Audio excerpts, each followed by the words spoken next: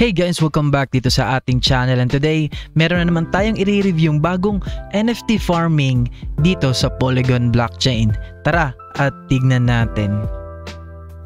So guys, as you can see here, ang pangalan ng game na to ay VJ's Farm. So it is a blockchain P2E game dito naman guys sa Polygon or Sematic guys. So at 418 pesos lang makaka-start ka na dito and pwede na tayong kumita din dito. At tara at bago natin puntahan yung game, titignan muna natin itong website nila. So ito yung website nila guys. As you can see here, pwede natin itong laruin sa iOS, sa Android at saka sa PC. Pero pwede naman natin gamitin yung um, browser dito guys or yung web version nga nila dito. And about naman sa game, ito yung about game nila. Eh, ito lang yung gameplay natin dito. Farming at saka yung parang Candy Crush na laro na ima-match lang natin yung buy trees dito na mga crops at syempre sasabog yan sila. Mamaya papakita sa inyo ang gameplay dito and then papakita ko din sa inyo itong farming naman dito guys. And actually guys, ito naman yung mga NFTs niya dito. So ang NFT niya naman dito guys ay pwede nating bilhin dito sa OpenSea. Tignan natin dito. So as you can see here guys, we can buy it here sa OpenSea naman ang mga NFT nila. So the lowest price here is 0.0095. Magkano nga ba yan? So 1,343 pesos yung worth ng isang NFT nila dito sa OpenSea. So, ito yung pinakamura guys ha. So, ito yung pinakamura nila dito ngayon. So, syempre, nagde-depende din yan siya or sa rarity ng ating NFT. Kasi nga, every NFT here or every rarity here ay meron yan siyang corresponding na effects or benefits para sa farm natin. Kasi nga, dito tayo mag-earn din. So, isang way of earning din dito is holding their NFT. Kasi nga, as you can see, tumataas din kasi ang value nito guys. The more na hino-hold natin to, the more na tumataas ang value nito. And ito yung mga bentahan niya dito ngayon, a day ago, two days ago.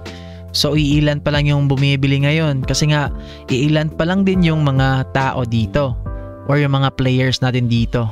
So ito yung mga benefits niya guys ng mga veggies or ng mga NFT natin dito. By holding it guys, by holding this NFT, um, meron siyang effect din dito sa ating farming. So crops can grow um, minus 20%, so minting plus 20% and more kasi nga nagdedepende din yan siya sa rarity ng ating NFT dito. So minting page naman, so ito yung pass or ito yung bagay na kailangan natin dito para makapasok tayo dito sa laro. So sabi ko kanina guys, 400 18 pesos lang, pwede na tayong makapasok dito sa laro. So ito yung price niya guys kasi sa Matic naman to. So 5 Matic yung price niya. So magkano nga ba to guys 5 Matic? So ang 5 Matic is 418.8 pesos lang. So makaka-start na tayong maglaro dito sa game. So meron siyang bronze, silver pass at saka gold pass. And as you can see here, meron niya siyang corresponding effects sa farm natin. The higher the rarity is, syempre mas malaki or mas ma maganda yung bigay sa farm natin.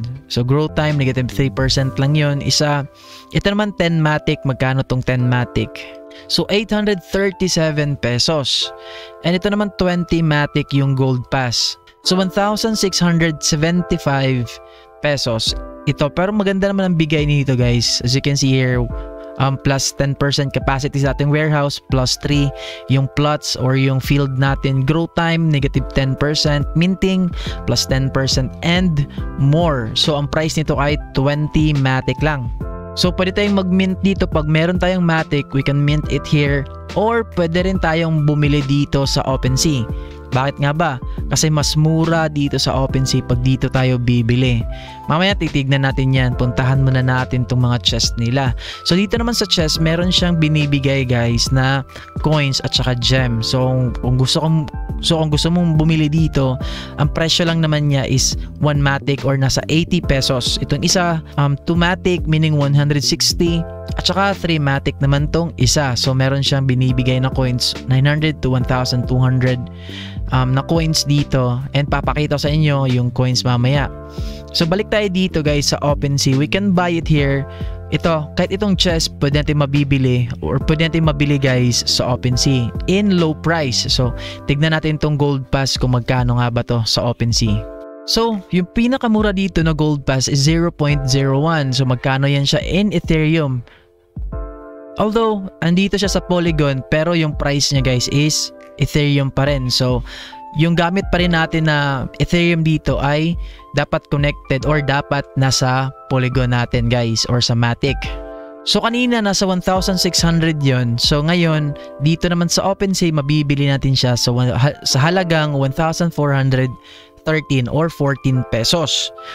So ito lang yung price niya guys dito sa OpenSea kasi nga mas mura dito sa OpenSea. And nasa sa inyo naman yan siya kung gusto niyo mag-invest dito. Always remember this guys, nasa sa inyo yung decision kung gusto niyo mag-invest sa mga ganitong games. So, always invest what you can afford to lose. So, you can try it. Pwede nyo try itong 5matic kung gusto niyo itong 10matic or kung gusto niyo itong 20matic naman guys. So, nasa sa inyo yan siya kung gusto niyo maglaro ng mga ganitong games. So, puntahan muna natin yung games naman niya.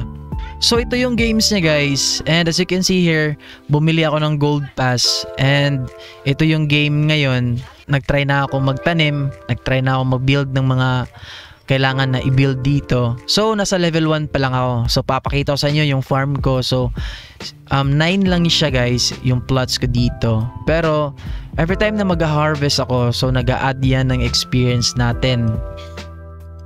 So, medyo maliit pag level 1 kasi level 1 lang kasi yun siya. So as you can see, meron akong tatlo dito pwedeng itanim. Ito yung pinakauna na pwedeng itanim natin. Pero as as our level go high guys, um, pwede na tayo yung magtanim ng mas marami or mas mahal dito na plants or crops dito. So, tatanim ko ay carrots. So, ang time naman ng carrots guys ay nasa 6 minutes. So, every 6 minutes pwede natin siyang i-harvest. And dito guys, hindi natin kailangan ng gas fee kung every time mag-harvest tayo. Ito naman yung bahay ko dito. Dito natin i-build guys yung mga kailangan natin i-build. Una, ito yung marketplace, tapos yung warehouse ito guys. And then naman sa level 2 or level 3 I think, um, ito naman yung shop um, worth 2,500. Dito yan siya. And then makaka-earn tayo dito by planting or farming and selling it guys dito naman. So ito yung kanina tinanim ko. Sell ko lang to. So minus 1 plus 4. Kasi minus 1 dito plus 4 naman dito. Kasi nga ang price dito guys. Kasi pag bili ko nito ang price naman nito ay nasa 2. Meaning $2 or 2 coins. Tapos pagbenta natin is So times 2 yung kikitain natin dito. So punta naman tayo dito sa gold mine niya. So, sabi ko kanina na gameplay niya na isa. Dito yon. So ito yung gameplay niya na isa guys. So meron tayong countdown 2 minutes dito para tapusin tong game. Well, pwede naman natin tong laruin guys anytime we want. Every day. Wala naman siyang countdown or wala naman siyang limit. And pwede tayong mag-earn dito. So nga, ayun. So ito lang, simpleng laro guys, simpleng game na pwede natin pagkakitaan. Though, disclaimer lang guys, hindi tayo yayaman sa mga ganito. Pero kung wala ka namang gagawin, wala ka namang ginagawa dyan sa bahay nyo, pwede nyo tong laruin naman guys. Sobrang easy ng larong to. so mamaya titignan natin kung magkano nga ba yung um, kikitain natin dito sa game. And kung worth it nga ba ang laruin tong game na to. So tapusin ko lang to guys and then babalik ako agad.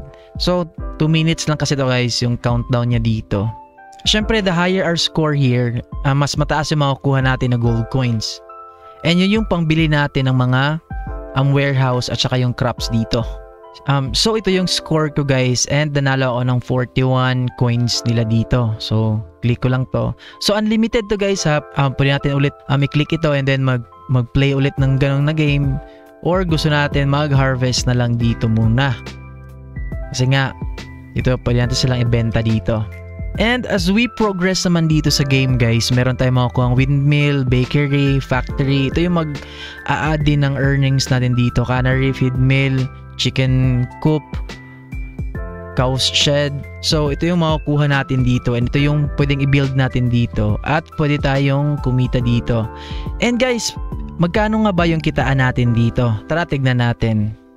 So ito yung kitaan niya dito guys sa leaderboard kasi nga ang game na to ay by ranking naman. So yung akin dito is Kaka actually guys, kakalaro ko lang. Ito yung points ko nakuha. So 1,964 points. 0.091 Matic. So, actually maliit to guys. Pero kasi, kasi nga, kakalaro ko lang isang oras ago. Ito pa lang yung na-earn ko dito. Pero as we progress naman guys, mas malaki or mas mataas yung level natin dito, mas higher yung rarity natin, tumataas din yung kitaan natin dito. Ang top 1 naman guys, pwede tayong kumita ng 5.188. Nagdedepende yan siya guys sa Matic Pool. Kasi nga yung binigay nila this week is 32 lang. Nagdedepende din ito sa mga players, kung ilang players yung mga naglalaro dito. So, magkano nga ba yung kikitain natin dito? So sa paglalaro natin guys ng sobrang daling game na to, pwede tayong kumita weekly ng 434.5 pesos. Guys, pwede natin itong laruin sa PC natin, pwede itong laruin sa ating phone, at saka pwede rin ito sa dito sa browser din natin kung gusto nyo. So, kumbaga guys, ito lang yung game niya ngayon. So far, kasi nga bago pa to guys. And so far, ito pa lang yung kitaan niya. So, dalawang ways yung kitaan natin dito. By holding their NFT and also kikita din tayo by playing the game. Siyempre, kailangan pataasin natin yung rank natin dito para maka-earn tayo ng malaki dito guys. So basically, ito lang yung laman ng game and ito lang yung ways natin to earn dito. Pero I suggest you kung gusto niyo mag-invest sa mga ganito guys, I highly suggest na pumunta kayo dito sa kanilang NFTs. And then, bumili tayo ng mga NFTs nila dito. Tignan natin. Bakit nga ba? Bakit nga ba guys na NFT dapat mag-hold tayo? Kasi nga, ang worth naman, pag meron tayong NFT or nag-hold tayo ng NFT guys, pwede tayong makapasok din sa games. So ganito yan siya pwede tayong kumita dito sa game by holding this and pag trade nito guys. Kasi nga tumataas, bumababa yung value niyan siya as time goes by.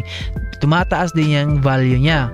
And then by holding this, pwede tayong makapasok dito sa farming naman. And sa pagpasok natin dito sa farming guys, syempre kumikita tayo dito weekly.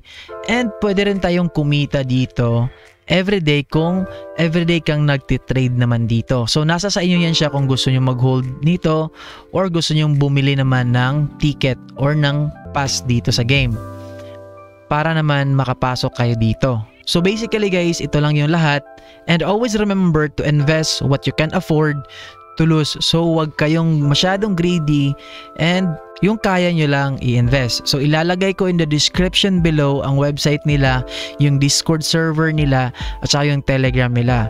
So that's it for today guys and see you on my next video.